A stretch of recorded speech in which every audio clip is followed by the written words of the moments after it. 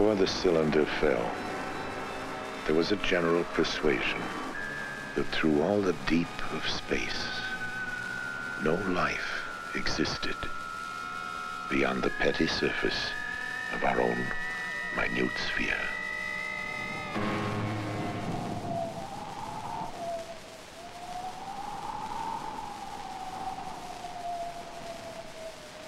We know now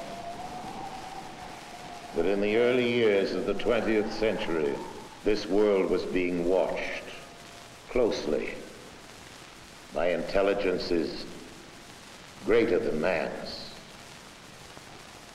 Across an immense ethereal gulf, minds that are to our minds as our minds are to the beasts in the jungle, intellects, vast, cool, and unsympathetic, regarded this earth with envious eyes.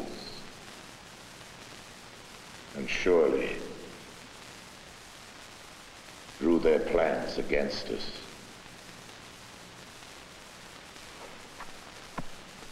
Hello, I'm Orson Welles, and I've been quoting from another Wells, no relation, H.G. Wells, the distinguished novelist, historian, prophet, who was also the great master of science fiction.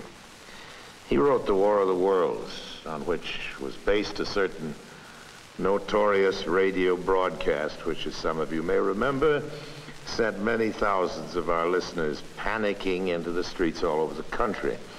H.G. denounced me for doing it, but later when he realized that our broadcast, like his story, was not intended to cause riots, but just to entertain, we got to be good friends, and I was forgiven. Whether all those people who jammed the highways and even took to the hills to escape the Martians have forgiven me is another matter. This is it. We thought that this was it. Listening to that show, uh, I said we were very impressionable at that age because of Buck Rogers and Flash Gordon. And uh, that really made a big impression on us. One fellow in particular who owned a store took the money from his cash register and loaded his car up with food and took off for the mountains and left his wife and children at home. New York City was just demolished, and they were uh, uh, coming closer. All of New Jer- North Jersey is an inferno, and they are proceeding south. I conceive, can conceive of no nightmare as terrifying as establishing such communication with the so-called superior or, if you wish, advanced technology in outer space. George Wald is a Nobel Prize winning biologist, one of a group of distinguished scientists meeting on the subject of extraterrestrial life. All of the people you will be seeing in this program, scientists, radio listeners, Orson Welles, have one thing in common. Each has had reason to believe in the likely existence of non-earthly life in the universe. I uh, think there's no question but that we live in an inhabited universe that has life all over it. What I'm imagining is the facts that I've just stated becoming generally known so that uh, people know that out there is a million other civilizations. They all look fabulously ugly and they're all a lot smarter than us. That seems to me useful and a character building experience for mankind. From the monstrous Mars life of his famous broadcast, Orson Welles will be taking us through science fiction to science fact, to the new view of extraterrestrial life now emerging from probes to the planets, interstellar discoveries, and findings about the nature of life itself. A real picture as astonishing in its way as the science fiction of 1938. If there is life out there, intelligent life, how did we ever get the notion that it might be otherwise than friendly? Well, Mars, of course, is the god of war, so the planet bearing his name might be expected to have warlike intentions. In our broadcast, the Martians were as aggressive and ruthless as any human being. Ridiculous assumption on the face of it. They were supposedly as bad as we are, at our worst, and also much uglier. They brandished death rays in their slimy tentacles. And for a while at least, just toward the end of the radio play, they appeared to be totally invincible. What finally stopped them? Well, here's the way it went. In the words of the mythical Professor Pierson of Princeton, who was our commentator, I remember, he said, writing in his journal when the whole thing was put together again and the world was in business, I remember wandering through Manhattan, standing alone on Times Square, and catching sight of a lean dog running down 7th Avenue with a piece of dark brown meat in its jaws. I walked up Broadway, past silent shop windows, and suddenly I caught sight of a Martian machine. And then across Columbus Circle, I could see standing in a silent row 19 of those great metal titans, their cowls empty, their steel arms hanging listlessly by their sides. And I looked for the monsters that inhabit those machines, and then, before my eyes, I saw them stark and silent.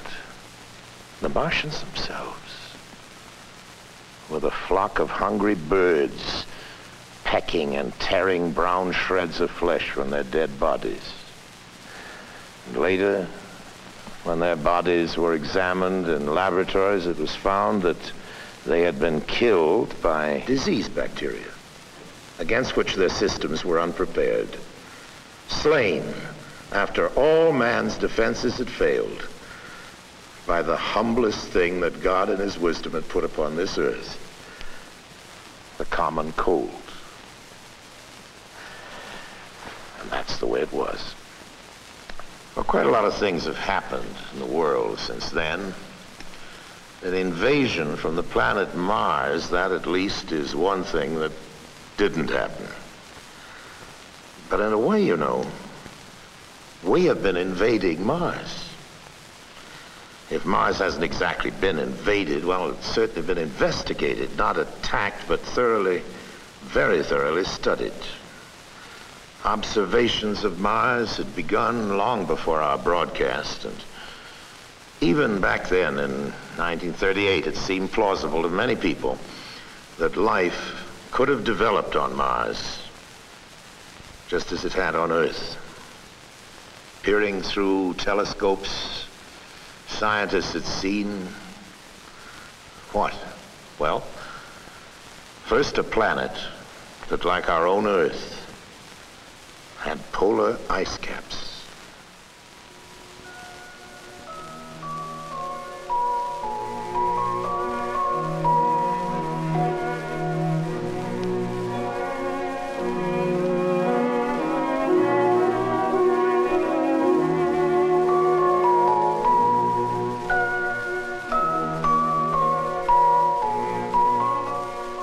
They were fascinated to see that the ice caps grew and receded with each year. Large areas changed color with the seasons. Did that mean vegetation? Straight lines were sighted on the planet's surface. Some called them canals. The American astronomer Percival Lowell believed that these Martian canals had been created by an advanced technological civilization. First in 1965 and then again in 1969, NASA sent spacecraft to fly by Mars and send back scientific measurements and close-up photographs. This is picture 21, a red picture, wide-angle picture, fantastic picture. That's beautiful. That's beautiful. Look at those little craters. This is a narrow-angle camera view. The Mariner missions were great achievements for the scientists. But the pictures of Mars showed a world of total desolation. Was Mars less like the Earth then and more like the Moon? There were no canals, no cities, no areas of cultivation, no signs of upheaval or layering in the Martian crust to indicate that the planet was active or evolving geologically. The pictures revealed no volcanoes to spew out gases that could enrich the atmosphere. And water, so essential to life, seemed to be present only in traces. The atmosphere was so thin as to make the possibility of life seem even more remote. For the fans of science fiction, not very exciting. But for scientists, the whole excitement is finding out the facts. That's the whole name of the game. Now, these first flybys had revealed only some of the facts. But all the same, the exploration of Mars and of all the other planets of the solar system was actually getting underway. I can't I can't feel that any person with any soul can look out on that universe that surrounds us and can imagine the immensity of it and the history of it without being rather impressed with the idea that we, as little atoms made of the same stuff those stars are made of, have the capability to regard the other part of the universe. One piece of the universe has the ability to look at another part of the universe and wonder about it. That's a very amazing thing, and it brings into one's mind all kinds of thoughts about religion and philosophy and so on. But don't ask me about life on Mars, okay? In the fictional Martian story, in the War of the Worlds, it was understood that the Martians were fighting for their own survival. Their planet was growing so cold and inhospitable that they might perish if they remained. While real life confined to such a planet would fight for survival by trying to change itself, by evolving. Every living thing on Earth has evolved from the lowly, the invisibly small microbe. Given nourishment, the microbe will grow colonies so vast that they rapidly become visible to the eye. Here on our planet, microbes have adapted to survive the most hostile conditions. Arid deserts, the frozen Himalayas, in trenches under thousands of tons of pressure in the ocean deeps. Biologists at Ames Laboratory are discovering adaptive capabilities in life forms that a few years ago would have been regarded as fantastic. Within the cooling systems of atomic reactors, organisms have been discovered flourishing where radiation could be expected to destroy any living thing. In hospitals that use ultraviolet for sterilization, strains have been found resistant to the killing radiation. Biologists are growing organisms in salt solutions, in acids, in alkalines, in ammonia gas, in boiling hot springs, in ice that is thawed for part of every day. In the vacuum of a space simulator, life forms have been flourishing for years without oxygen.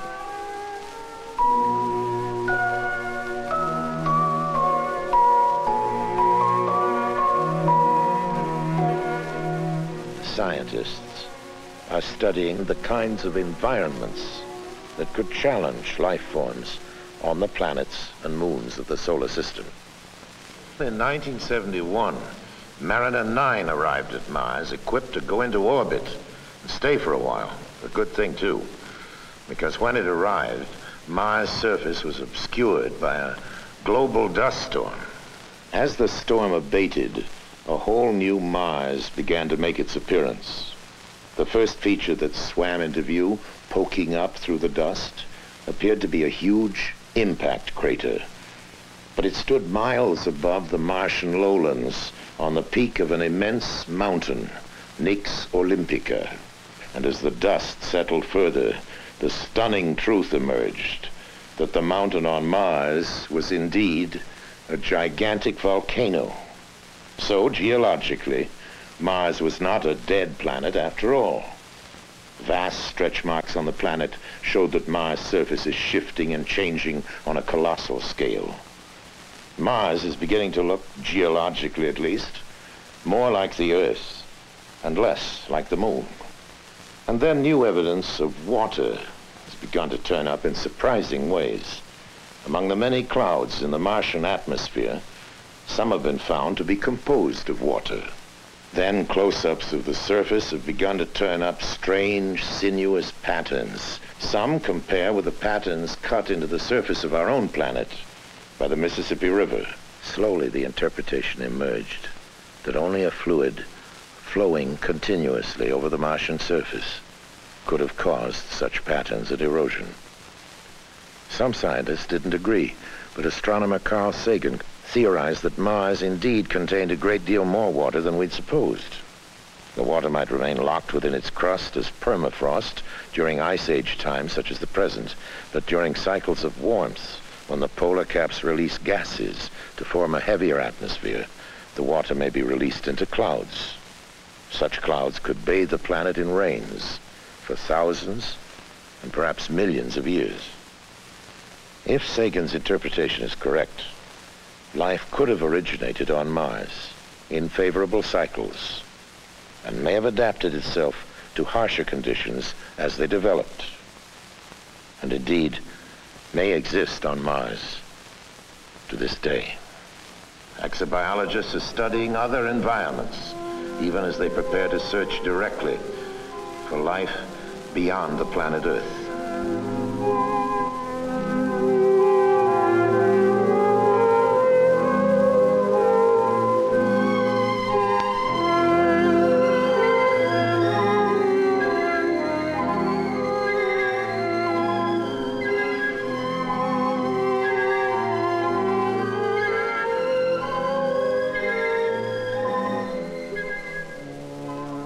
Flying by Jupiter, Pioneer 10 confirmed estimates that within its atmosphere are combinations of gases similar to those in which life originated on Earth. While a second Pioneer is being aimed to curve past Jupiter and fly by Saturn, Earth-based measurements show that a moon of Saturn, nearly the size of the planet Mercury, contains an atmosphere, water, and surprising warmth. A Viking spacecraft is being readied to land on Mars in 1976, carrying an automated chemical laboratory to sample Martian soil for life forms. The discovery of just one bacteria on Mars, or any other body of the solar system, would indicate that the whole chain of evolutions, cosmic, chemical, and biological, is at work everywhere.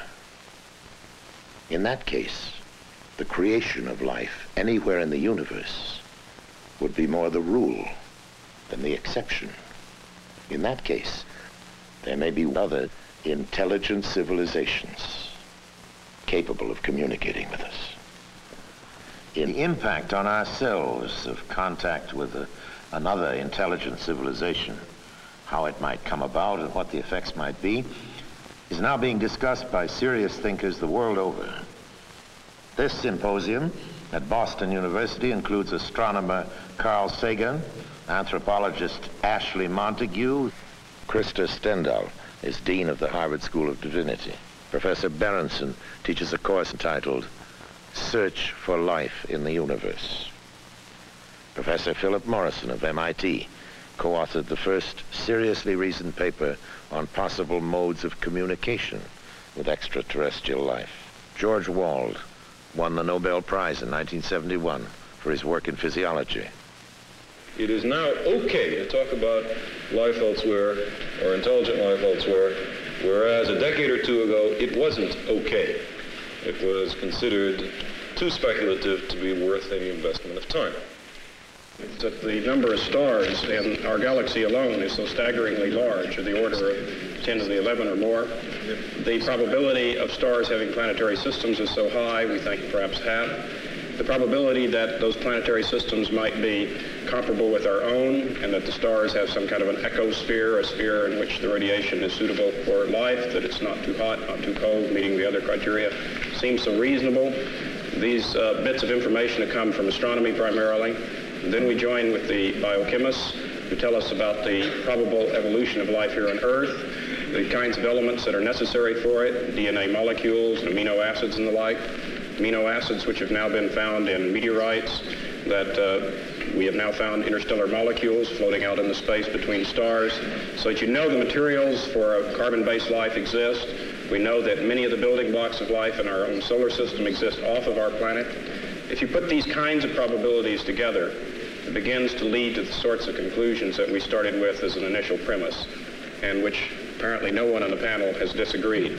And that is that life must exist in the universe, and it must exist quite abundantly. The most optimistic estimates, in the view of many, about the number of civilizations that there might be in the galaxy is of the order of a million, which means that only one in a few hundred thousand stars has such civilizations. Now, that would mean a billion such places just in our own galaxy that might contain life. As I believe there's a society of these groups, not just one. There are probably very many. There's only one. We have no hope of finding them. There are probably thousands, maybe as many as a million. They probably already have had a long history of this same experience of finding new ones and bringing them into the network.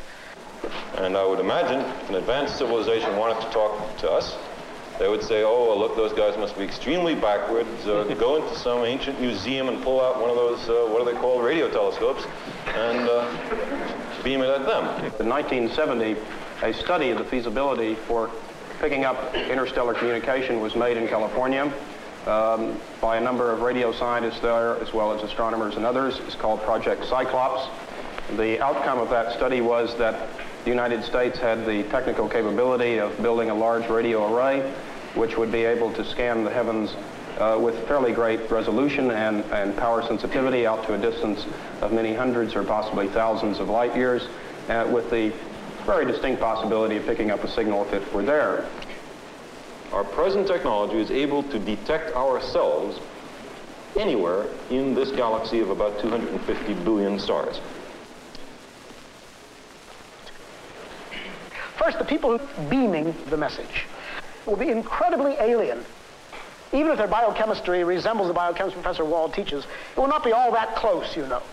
Uh, it will have enzymes, but it will be the, the LR, the LD situation will be quite different, and I don't know what chains of enzyme systems they will have at all. And we couldn't eat their food, very likely, even though they're the same biochemistry. Any more than we eat the food of a mushroom. It's very difficult to eat that. Uh, but the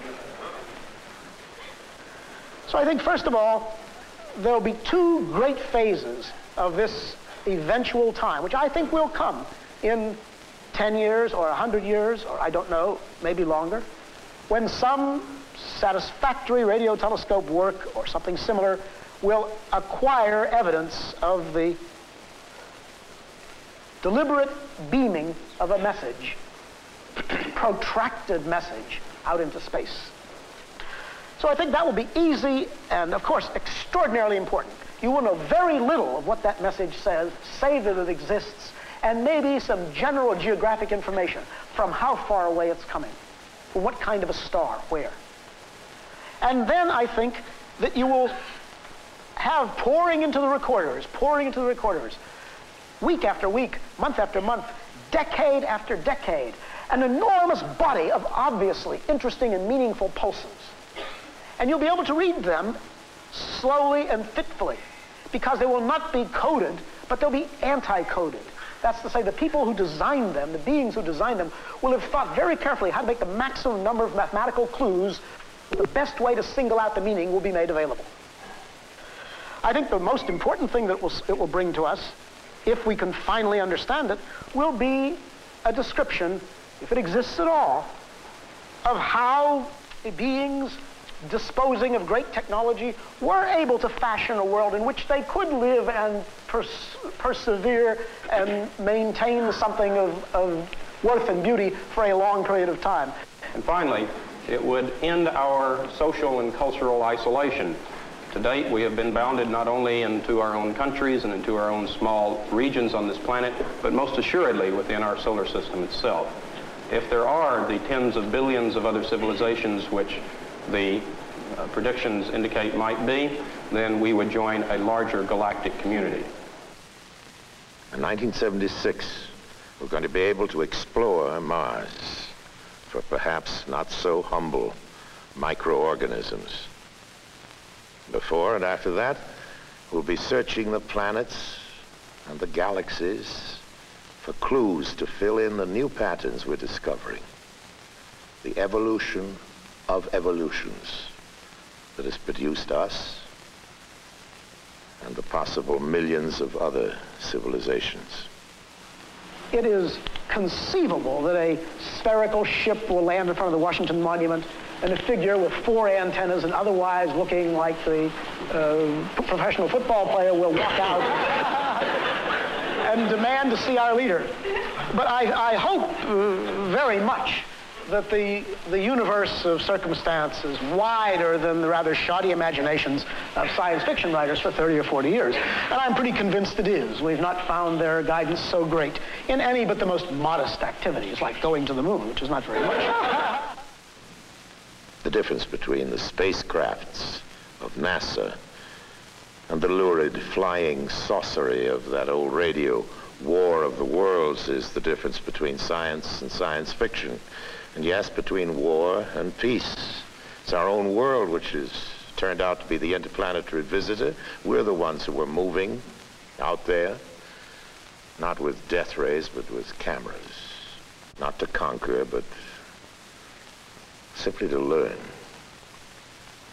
We are, in fact, behaving ourselves far better out there than we ever have back here at home on our own planet.